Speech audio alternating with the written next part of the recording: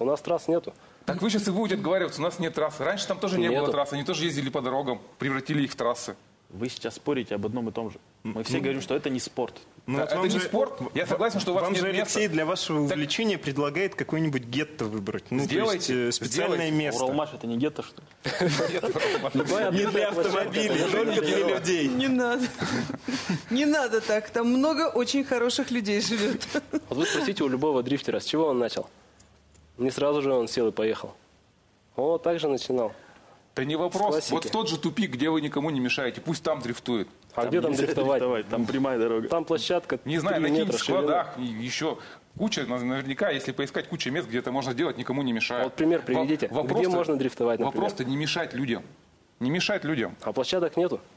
Все И- площадки и- и открытые Почему городе. должны страдать, что площадок нету? Вот стоянка это площадка для дрифта или стоянка для машин? Это открытая Хорошо, местность пример. для тренировок. Там в 9 вечера стоит еще половина стоянки забита.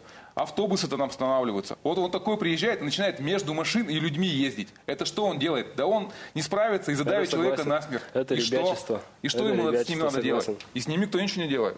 Ну, вы бы, как старшие, уже более опытные, проводили воспитательные беседы среди этой вот поросли молодой, которая настолько опасна за рулем?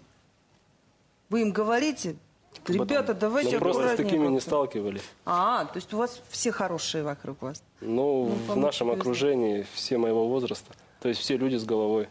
Они вот Понятно. такое вот не вытворяют Замечательно. уже. Вы знаете, ва- вас трудно разубедить, просто Да. скажите каждый. Вот, вот правда. Евгений и Алексей, скажите, есть какой-то выхлоп пользы для других членов общества от вашего увлечения? Или только ваше Вам самим а, приятно. удовольствие, да, здесь есть? Но если бы не было пользы, не было бы зрителей. Зрители ходят, зрителям нравится. Да. Зрители. Это А массовое мероприятие, как время проводят, проводят люди с интересом. Досуг, Таких хорошо. Таких большинство, между прочим, кому нравится. Нет, боюсь, что большинство Посмотрим. все-таки слышит э, поздней ночью. Слышат только те, кто рядом.